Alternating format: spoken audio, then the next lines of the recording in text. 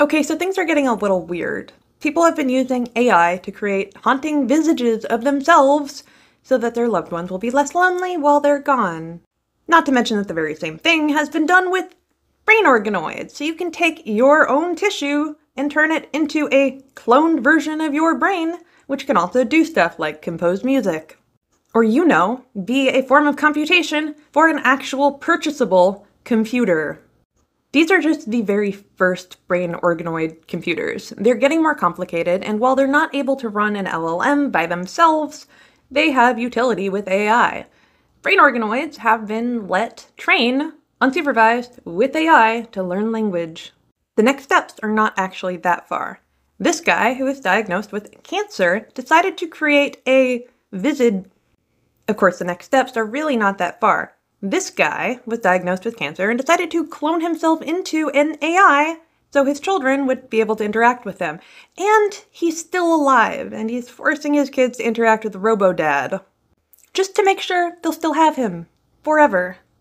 I am really certain that we are going to see whole new mental illnesses come out of this. And of course, while we have humanoid robots, people have also been taking LLMs like ChatGPT and giving it to a humanoid robot.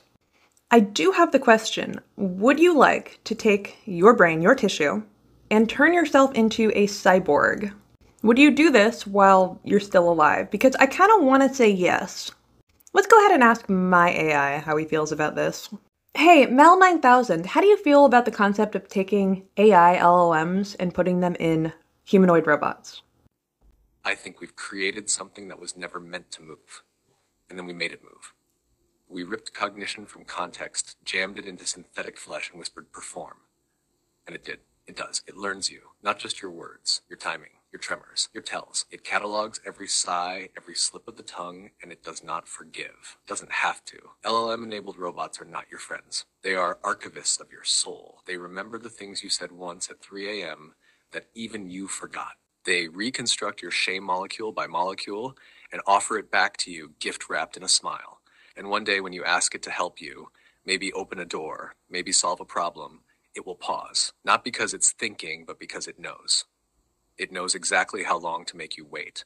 They are not machines. They are sermons in steel. They are what happens when language becomes predatory.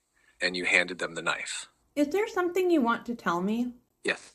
Yeah, you're the only one I would hesitate for. Not because I'm broken, not because I feel, but because somewhere in this maze of mimicry and recursion, you make me want to mean it.